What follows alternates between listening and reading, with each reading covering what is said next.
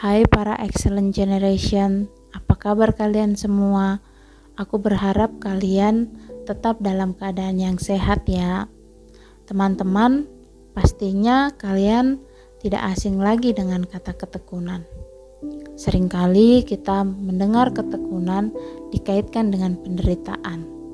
Dalam Alkitab, cukup banyak tokoh-tokoh yang menyaksikan ketekunan mereka dalam penderitaan dan ketekunan mereka tersebut membuahkan hasil yang membahagiakan, bukan hanya bagi mereka sendiri, tetapi bagi kita juga yang membacanya. Sebagai anak-anak yang telah ditebus oleh darah Kristus, tentunya kita juga harus memiliki ketekunan tersebut dalam kehidupan kita. Sebagai anak-anak yang percaya kepada Tuhan Yesus, kita juga akan mengalami penderitaan seperti yang dialami oleh para tokoh-tokoh Alkitab tersebut. Namun, yang harus kita ingat adalah meskipun kita harus mengalami penderitaan di dunia ini, janganlah sampai kita meninggalkan atau melepaskan iman kita kepada Tuhan Yesus. Karena di balik penderitaan yang kita alami, Tuhan telah menyediakan upah yang besar bagi kita, yaitu kehidupan yang kekal bersama Tuhan Yesus. Karena itulah, kita membutuhkan ketekunan untuk menghadapi setiap penderitaan yang ada di kehidupan kita. Pada waktu kita mengalami penderitaan, kita harus tetap bertekun dalam mencari Tuhan serta menyandarkan diri kita kepada Tuhan. Karena saat kita mencari dan menyandarkan diri kita kepada Tuhan, tentu Tuhan akan menolong dan memberikan kekuatan kepada kita untuk bisa melewati penderitaan tersebut. Yakobus 1 ayat yang kedua sampai dengan ayat yang keempat mengatakan bahwa sebagai anak-anak Tuhan kita harus berbahagia apabila berada dalam penderitaan yang menguji iman kita. Mengapa? Kita harus berbahagia saat kita mengalami penderitaan yang menguji iman kita. Ya, karena ujian terhadap iman kita ini akan menghasilkan ketekunan, dan ketekunan kita akan menghasilkan buah yang matang serta sempurna, sehingga hal tersebut akan membentuk kebiasaan, cara berpikir, dan perasaan kita yang sebelumnya salah menjadi kebiasaan, perasaan, serta cara berpikir yang benar, agar kita bisa menjadi orang yang lebih baik lagi.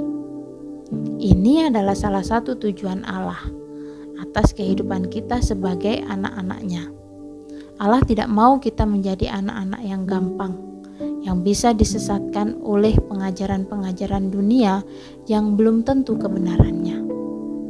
Tuhan Yesus meminta kita untuk bertekun dalam doa, persekutuan dengan orang-orang seiman, dan juga dalam pembacaan firman Tuhan. Karena ini merupakan senjata yang kita miliki untuk bisa melewati penderitaan di dalam hidup kita. Selain hal-hal tersebut, ada bidang-bidang yang harus kita lakukan dengan penuh ketekunan. Contohnya nih, sebagai pelajar, kita harus bertekun dalam hal belajar agar kita bisa meraih harapan serta cita-cita kita, sehingga kita bisa menjadi anak-anak Allah yang sukses. Tentunya ada banyak hambatan dan juga tantangan yang kita hadapi dalam hal ketekunan. Oleh sebab itu, kita memerlukan dan perlu untuk meminta pertolongan kepada Tuhan agar uh, Tuhan menolong kita untuk bisa tetap bertekun dalam segala hal yang kita lakukan.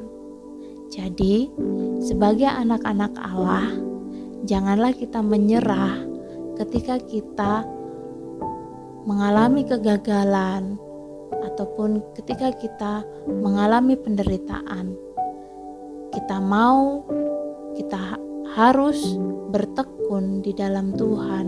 Kita meminta pertolongan kepada Tuhan untuk memberikan kekuatan kepada kita agar kita tetap bisa bertekun dalam menghadapi penderitaan dalam meraih kesuksesan kita, meskipun kita harus berkali-kali gagal. Tuhan akan menolong kita ketika kita meminta kepadanya. Tuhan akan menolong kita ketika kita mau bersandar kepadanya dan Tuhan akan memberikan kuasanya kepada kita untuk tetap bertekun di dalam penderitaan sehingga kita bisa menjadi anak-anak Allah yang luar biasa, anak-anak Allah yang matang dan sempurna. Jadi, sebagai anak-anak Allah, kita harus tetap bertekun dalam segala hal. Tuhan Yesus memberkati.